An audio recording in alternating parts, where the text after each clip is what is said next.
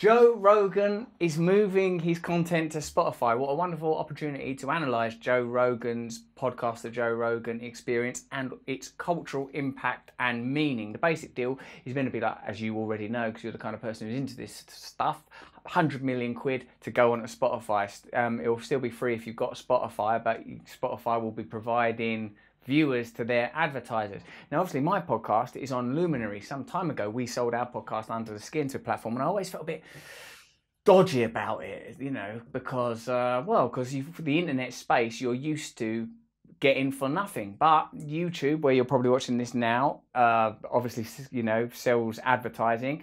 And Instagram, if you're watching it there, you're being corralled and marketed to. In a sense, as long as we all live under the economic auspices of capitalism, then those are the rules of the game, unless you want to set up exempted and parallel universes.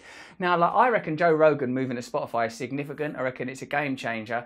I always fought for online subscription model podcast platforms to work. They needed to get Joe Rogan or someone comparable, and there isn't really anyone comparable. Maybe Marc Maron, but not really anymore. Rogan's a sort of a unique thing. It's going to be weird that his stuff won't be on YouTube anymore. And apparently, I got from that, was it called Valuetainment? Very good channel, very interesting in Valuetainment. They said, like, you know, there's gonna, Spotify are gonna have a, set up a video arm just to deal with it. In terms of the economics of it, they're saying that Rogan got 100 million quid, but that the share prices of Spotify stock jumped up to equivalent of 5 billion in value which I suppose is five billion in value. There's no equivalent, is there?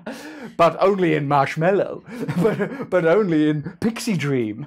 Um, five billion worth of Pixie Dreams. It's weird, isn't it? Because of course, you know, your stock prices could go down as well as up. But it's interesting. There is definitely a value clearly to Joe Rogan. I've often thought about what that is. I've been a guest on his show several times, and I'm in. I, I think it would be. I consider him a friend. I consider him a friend. You don't want to put yourself out, do you? Don't want to be all vulnerable. That guy. Anyway, yeah, I've got his phone number. I'm wondering what. what do you need to know about this? I think he's an interesting cultural figure because I think a lot of what he's doing is men's wellness and men's spirituality. I think it's interesting when there's been controversies around Joe Rogan, like when he endorsed Bernie Sanders and the left didn't want that endorsement, or parts of the left. That for me showed that an interesting moment in the evolution of politics and somewhat the end of conventional left right uh, liberal uh, conservative, right wing, left wing understanding of politics.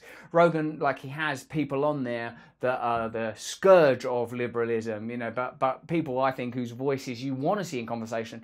I'm well up for talking to people with different um, you know viewpoints from me and, and, Rogan himself has always said he's voted Democrat his whole life so you know what, what is that? But what I think significant about him is like with his connections to UFC and uh, his interest in hunting and all that kind of stuff and wellness and supplements he kind of represents an aspect of men's health that men's health is necessarily sort not necessarily usually about physical stuff, isn't it? Like, you know, being fit, doing weights, cycling, hunting, like stuff to do with the body.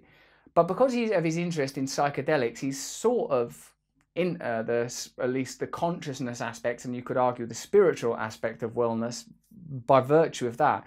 He said before like that he would never call himself an atheist because like um you know what what do we know? And anyone who takes psychedelics it just opens up a lot of questions. I think he's an important cultural figure and an important cultural commentator. And anyone who is the person that takes a medium to a new level you have to see what that represents what that means. For uh, obvious example would be howard stern. Howard stern is the person who moved the medium forward changed the way a medium is regarded. Joe rogan has done a comparable thing. So what i think is is he addressed a long neglected aspect of masculinity. I think he's moving the conversation forward as new uh, milieus and new taxonomies emerge around politics and thinking and philosophy.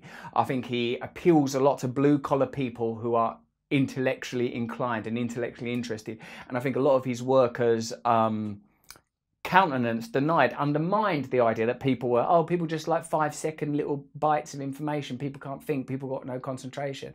Like if you listen to these, like some of the episodes he's done on Egyptology or chemistry, biochemistry, politics, uh, the AI, you know, he goes deep, you know, three hour conversations with people in an accessible way. I'm very interested in people that are able to make esoteric information exoteric and accessible. So I think this is a significant, it's obvious, you know, it doesn't matter what, I think it's a significant cultural shift this moment. I think it's good for anyone that's a content provider, particularly at a time when people are talking about YouTube, censorship, and what can be said online, particularly as these new emergent spaces become increasingly commodified. You know, there's always a wild west moment when new technologies emerge, and uh, even uh, you know, even at this point, you can regard the internet as a somewhat of a new technology.